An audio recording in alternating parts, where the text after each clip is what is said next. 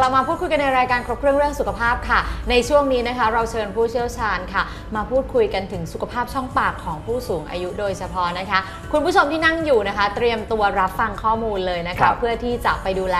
คนที่คุณผู้ชมรัก ซึ่งอยู่ที่บ้านของคุณผู้ชมนะคะ วันนี้ค่ะ ผู้เชี่ยวชาญของเรานะคะ คนพิเศษมากๆวันนี้พี่ตั้มใช่ครับนั่งอยู่กับเราแล้วนะคะ ครับ ยินดีต้อนรับค่ะทันตแพทย์หญิงพิมพ์สิริถุงสุวรรณค่ะ สวัสดีค่ะคุณหมอค่ะ สวัสดีครับคุณหมอครับผม โอ้คุณหมอขาวันนี้เราคุยกันเรื่องแบบ ครับจริงๆแล้วก็รวมไปถึงคุณเกี่พ่ยอวหคุลายณอย่างแม่คุณตาคุณยายแบบใช่ ผู้มีพระคุณของเรานะครับผมและเราเพราะฉะนั้นต้องตั้งใจฟังให้ดีครับนะคุณผู้ชมค่ะครับเขาบอกว่าฟันแข็งแรงสุขภาพก็จะแข็งแรงด้วย ครับประโยคนี้เราได้ยินเป็นประจครับำเพราะว่ามันเหมือนแบบเราจะได้กินอะไรได้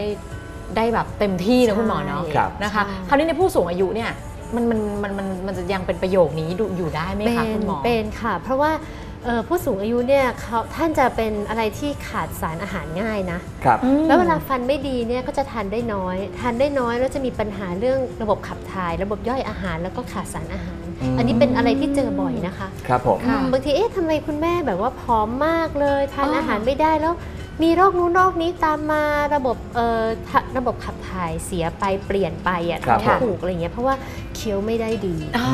อืมอันนี้จำเป็นคือมากเคี้ยวไม่ได้เนี่ยเพราะว่าฟันโดยส่วนใหญ่ฟันของไม่ฟันไม่ดีดีใช่มีปัญหาเรื่องการบดครับ เคี้ยวเรื่องฟันอย่างเงี้ยเดี๋ยวคราวนี้มีปัญหาคำว่าฟันอื่นตามไม่ดีมาของคุณหมอเนี่ยคือบางบางท่านมันก็เห็นว่าเป็นฟันปลอมหมดเลย ครับ ใช่ แล้วมันยังมีปัญหาอื่นอีกไหมคะ มีมีทุกอย่างเลยตั้งแต่ว่าอาจจะ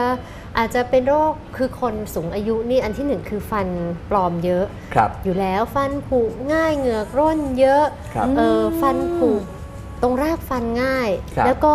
แล้วก็เออเกี่ยวกับเหงือกก็มีใช่ไหมคใช่รับ เกี่ยวกับเหงือกก็มี แล้วที่สำคัญก็คือว่าเป็นบางทีอะไม่ค่อยอยากทานอาหารอยู่แล้วด้วย ครับ เพราะยิ่งมีปัญหาเรื่องฟันนะ ก็ยิ่งยิ่งซ็ง กลายเป็นเบื่ออาหารไปใช่อะไรอย่างนี้ใช่ไหมครับอ๋อของเหนียวเหนียวๆก็ไม่อยากเคี้ยวอย่างครัเงี้บยผมอืม เออเป็นนะพี่ตั้มอย่างคุณย่ามดอะไรเงี้ย ครับ จริง ๆ ถ้าเป็นคนชอบทานแบบเนื้อหมูเนื้อไก่เราจะหยุมาดกไปเองตอนอายุหยุด เยอะ พอหยุดเสร็จปุ๊บยังไงรู้ไหมพี่ครับ ตั้มสุขภาพจิตไม่ดี ใช่ คือมีความรู้สึกว่าอยากกิน อ๋อแบบ แต่ไม่ได้กินนะอะไรอย่างเงี้ย คือเหมือนอยากกินแต่มันไม่ไหว มันครับเคี้ยวไม่ใช่เขาไหวเคี้ยวไม่ไหวจริงๆ กินไปได้ชิ้นหนึ่งแล้วก็หงุดหงิด อืมอ๋อ เป็นอย่างก็เลยหยุดไปกินเลยเออลูครักบ ลูกหลานต้องเข้าใจนะใช่อันนี้ครับสำคัญมากเป็นนะคะเป็นจริงเออๆ มันกลายเป็นแบบเกี่ยวเนื่องกันไปหมดเลยเนาะใช่เออ ใช่ แล้วก็ค่ะ สุขภาพก็จะแย่ลงก็ดูบางบางคนนะแค่ว่าทำฟันให้ดีนะคะ กลับมาสุขภาพดีเลยอืมทั้งร่างกายและจิตใจ ใช่ใช่คราวนี้คุณหมอครับ ผู้สูงอายุส่วนใหญ่เนี่ยที่ผมเคยเห็นนะครับ ไม่ค่อยชอบไปหาหมอฟัน อืม อืมเป็นเพราะว่าอาจจะคิดว่าโอเคยังไงแก่แล้วฟันเนี่ยเป็นธรรมชาติเดี๋ยวก็ต้องโยกฉันอยู่ไม่ต้องไปอีกหาไม่หรอก นานหรอกอะไรประมาณไปนั้นทำน่ะไมจริงๆแล้วอ่าฟันเนี่ยถ้าเกิดดูแลดีๆ สามารถจะอยู่กับเราได้ตลอดชีวิตนะครับ ตลอดชีวิตเลยค่ะเอาเหรอออยู่ได้ตลอดเลย มันอาจจะมีผุกรอนบินบ้างเราก็บูรณะไป แต่ว่าคจรับริงๆเขาอยู่ได้ตลอดนะอืมถ้าเราดูแลดีเนี่ยเขาอยู่กับเราตลอดเพราะว่าชีดูวิตตามสารคดีบางทีพี่ตั้มเราเห็คนรับ แบบเวลาเขาไปขุดอะไรอย่างเงี้ยเนาะครับ บางท่านยังมีฟันแบบใช่โครงกระดูกใช่เขาเออ เข้าใจเปรียบเทียบนะ ยุคไปขุดอะไรนั้นมาเจออะไรเลยอย่างเงี้นะยอ่าฟันยังอยู่ใช่ไหมฟันยังอยู่ดีใช่อ๋อเอครับ อถูกไหมบางคนก็เจอ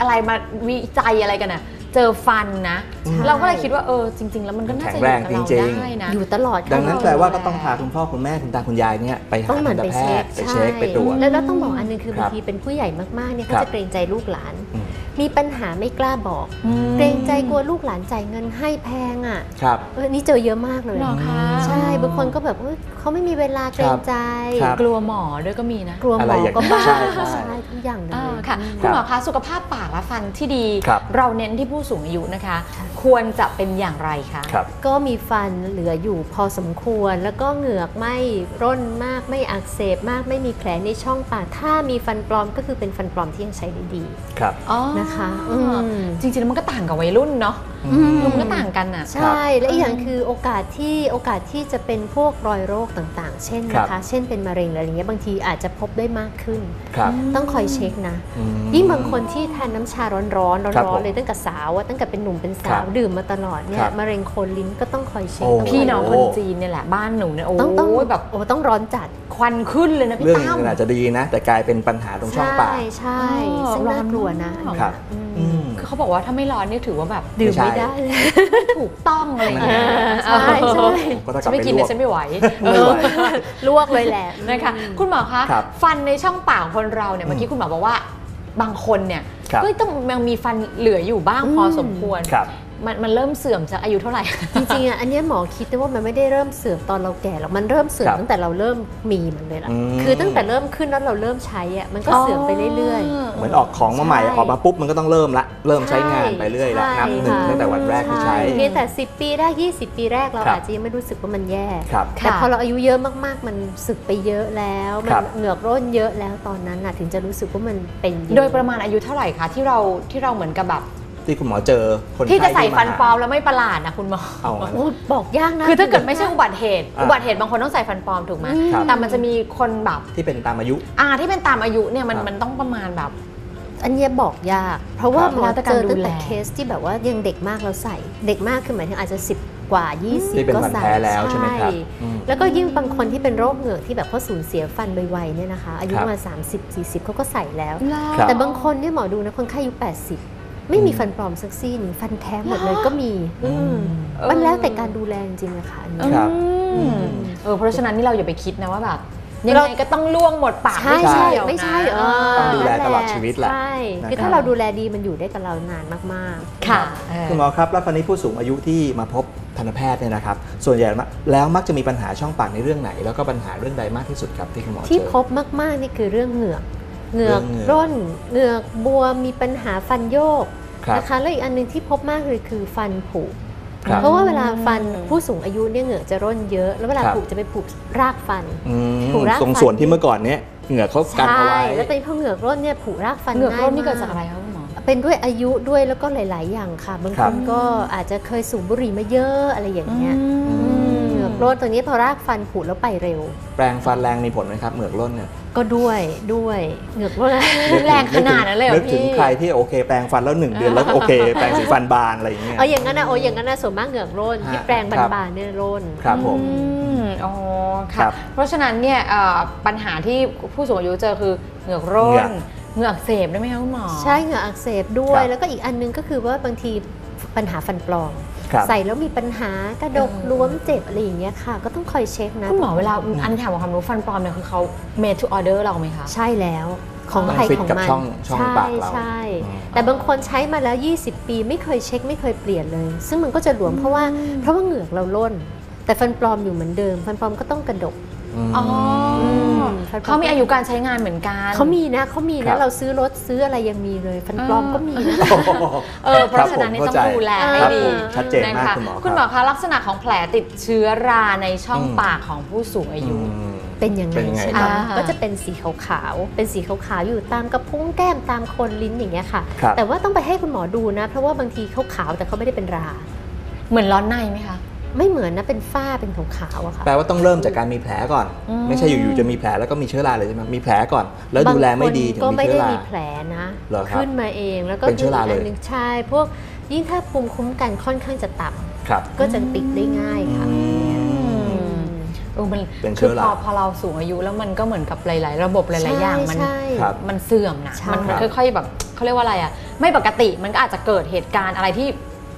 ตอบไม่ได้ว่าเหตุผลใช่เป็นเพราะอะไรอยู่ดีก็ไม่มีขึ้นเหตุผลแต่อะไรเป็นงี้ยแล้วทำไมต้องเป็นเชื้อราล่ะคุณหมอเป็นแบคทีเรียเป็นอะไรอย่างอื่นได้ไหมเชื้อรานี่มันจะขึ้นตอนที่เราอ่อนแอมากๆส่วนครับมากอืมซึ่งมันจะขึ้นง่ายอืมเพราะเป็นส่วนที่เป็นบริเวณความชื้นด้วยใช่ใช่อืมนะเออแล้วถ้าเกิดครับเราไม่รักษาล่ะคุณหมอแผลครับติดเชื้อราเนี่ย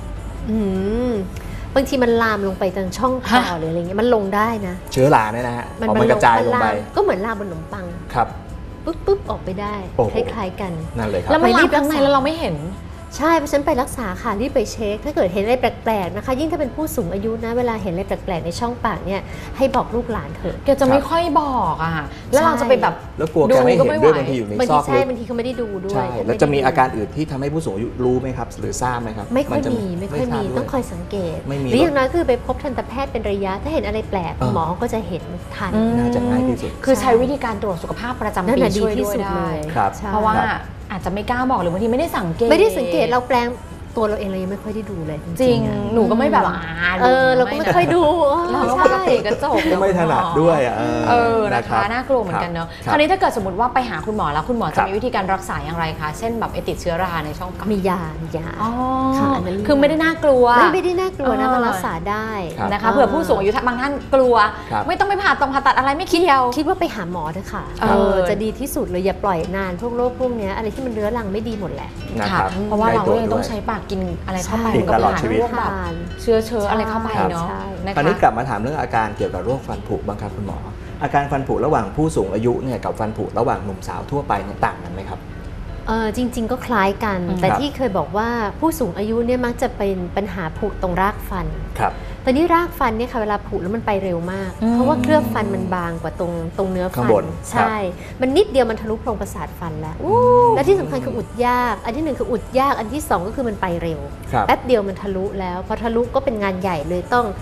รักษารากรากฟัฟันนหรือครับถอนอะไรอย่างเงี้ยคุณหมอครัคะบผมเคสที่แบบ หนักสุดของการทะลุทะลวงฟันก็คือเราต้องถอนเขาทิ้งถูกไหมคะใช่ อันนั้นคือแบบเก็บไม่ได้เลย ไม่สามารถเก็บได้แล้วก็ต้องถอน คราวนี้ผู้สูงอายุบางคนเนี่ยอาจจะบอกว่า ถอนก็ถอนครับเอ่อสุดท้ายฟันก็แค่หลุดไปซี่หนึ่งอืม คุณหมอต้องเน้นย้ำให้ผู้สูงอายุเข้าใจก่อนว่า การครับ ไม่มีฟันน่ะ มันคือปัญหาที่คือหนึ่งยิ่งฟันน้อยเนี่ยยิ่งใส่ฟันปลอมยากถูกไหมครับ แล้วก็อืม เคี้ยวอาหารยาก ที่สำคัญคือบางทีถอนไปแล้วไม่ใส่ฟันด้วยครับลำคาญครับอ๋อเป็นมีเยอะนะพี่เยอะตั้มเยอะมากคือทำแล้วไม่ใส่นี่เยอะนะคือเหมือครันบผมปล่อยแล้วว่าปล่อยชีวิตอะปล่อยครับวางอย่างเงี้ยไม่ที่เห็นบ่อยคือลูกหลานอยากให้ใส่ลูกหลานพามาใส่ คุณแม่ไม่อยากใส่ คุณพ่อไม่อยากใส่อืมทำเสร็จไปจ่ายเงินไปเรียบร้อยเอาไปวางไว้ที่บ้าน ไม่ยอมใส่ ไม่ใส่อะไม่ใส่คือแล้วมันมีผลอย่างนี้ไหมคุณหมอคือถ้าเกิดถอนฟันแท้ไปแล้วเนี่ยผู้สูงอายุเนี่ยแล้วไม่มีฟันอยู่เนี่ยเหงือกเขาจะหดหดๆตัวไหมครับ ล่นหรืออะไรเงี้ยเอเกี่ยวไหมอครับไม่ไม่ค่อยค่ะอ๋อไม่ค่อยสงเหงือกมันก็จะปกติของมันไม่แต่ได้ว่าหายไปไหนใช่แต่จำนวนฟันที่ใช้เคี้ยวเนี่ยมันน้อยลง มันจะทำให้ระบบในร่างกายมันแปรปรวนไปหมดเลยสิพี่ตั้มใช่เพราะว่าปกติเราใช้ฟันในการช่วยย่อยอาหารด้วยใช่ถูกไหมคะครับเออมันเป็นปัญหาใหญ่นะใช่พอย่อยไม่ได้มีปัญหาระบบขับถ่ายอีกครับเอออมค่ะ คุณหมอคะแล้วเพราะทำไมอะคะทำไมแบบ คือมดมองว่าวัยที่สำคัญเนี่ยครับวัยรุ่นก็สำคัญ ครับเพราะกำลังจะเติบโตเป็นผู้ใหญ่ใช่ครับใช่ไหมคะ วัยสูงอายุก็สำคัญเหมือนกัน ครับ คราวนี้มดอยากจะทราบว่าวิธีการดูแลช่องปากของผู้สูงอายุกับวัยรุ่น ซึ่งเป็นวัยที่สำคัญทั้งสองวัยเนี่ยแตกต่างกันไหมคะ วัยรุ่นเนี่ยส่วนมากยังไม่ค่อยเจอปัญหาเหงือกร่น ค่ะ แล้วก็ครับยังไม่ค่อยเจอปัญหาว่าใส่ฟันปลอมแบบถอดได้เยอะอะคือวัยรุ่นยังไม่ค่อยเจอใส่ฟันปลอมเยอะมากๆอย่างเงี้ย แต่ตอนนี้ที่เป็นวัยสูงอายุเนี่ยค่ะจะมีปัญหาเหงือกร่น การทำความสะอาดเอ่อ ซอกเหงือกตรงนั้นนะซอกฟันเนี่ยมันครับสำคัญมากเลย เพราะอืมพอมันจะมีเครื่องมือนะ พวกแปรงซอกฟันเนี่ยเอาไว้ทำความสะอาดตรงซอกฟันครับอันนี้จำเป็นแล้วก็ไหมขัดซอกฟัน ซึ่งจริงๆผู้สูงอายุใช้ยากมาก แล้วจริงๆไม่แล้วท่านถนัดใช้ได้ไหมคะ ถ้า น้อยคือคือใช้ได้แต่ว่าส่วนมากไม่ถนัดค่ะ บางคนมีปัญหาเป็นอัมพฤกษ์มั่งหรือเป็นอ๋อพาร์กินสันอาจจะไม่มีแรงแล้วด้วยยิ่งไม่ได้อีกแล้วใช่ใช้ข้อใช้อะไรไม่ไม่สะดวกแล้วใช่นะแล้วครับบางทีมีฟันปลอมก็ต้องทำความสะอาดเรื่องฟันปลอมอีกครับอืมบางทีต้องอาศัยลูกหลานเหมือนกันนะ ช่วยดูนิดนึงคือพอเราฟังอย่างนี้ปุ๊บกลายเป็นว่า การดูแลช่องมันต้องใส่ใจพิเศษพิถีพิถันน่ะแล้วต้องครับเป็นมาตั้งแต่ยัง ยังเด็กคือครับ ต้องดูแลตั้งแต่ยังเด็กเออถูกไหมคือจะดูแลตั้งแต่มันมีฟันใหม่ ๆ เลยอะค่ะ จะไปดูตอนนั้นบางทีมันก็สายไปนะใช่เออเออนะถึงเวลาก็ผูกไปซะแล้วเออมันครับ ไป ค่ะแล้วอะ ยาสีฟันล่ะคะคุณหครัมบอยาสีฟันของผู้สูงอายุเนี่ยอย่างที่บ้านเนี่ยเราเราเลือกใช้หลอดเดียวร่วมกันหมดเลยได้ไหมตั้งแต่เด็กยันผู้สูงอายุ ได้นะจริง ๆ ได้ไม่มีปัญหาเลยค่ะอ๋อไม่ต้องใช้ดูแลอะไรเป็นพิเศษใช่ไม่ต้องเลือกรูปแบบพิเศษใช่นะครับ แต่ว่า คืออยากจะบอกเวลาใช้ยาสีฟันเนี่ยบางครับ คนเนี่ยโอ้โหบีบเยอะมากเลยฮะ บีบกะว่าให้ฟองฟอด ใช่แล้วก็แสบตาอย่างเงี้ยค่ะคือใช้จริงๆเขาบอกว่าแค่เม็ดเขียวครับน้อยจังๆน้อยเลใช่น้อยแต่จริง ๆ คนบอกว่าแค่นั้นก็พออ๋อแล้ว ทุกยาสีฟันก็เพียงพอแล้วใช่ไหมครับ ใช่ไม่ได้ใช่ ต้องบอกว่าสูตรพิเศษหรือคอนเซนเทรตอะไรเอประอมาณไม่แค่เนี้ต้ยองเออคือไม่ไม่ต้องเยอะไม่ต้องมากเยอะขนาดนั้น ให้พอสมควรอ๋อ ขอให้แปรงทุกวันขอเถะให้แปรงเออขอให้ใช่ใช่ขอชให้อบแปฟรองง ไงแบบตอนซักผ้าเออเอาฟเป็อนงเรายังเป็นนะพี่ต้าบอกอารมณ์แบบว่าฟองฟู ให้ฟองฟอดอย่างเงี้ยเนอะฟองฟูปากครับ คุณหมอคะเขาวนี้อยากให้คุณหมอย้ำกับผู้สูงอายุพี่ตั้มครักับบลูกผมหลานก็ได้ ครับ ว่าระยะเวลาในการตรวจฟันของผู้สูงอายุเนี่ย อืม ควรจะทุกกี่เดือนดี ครับ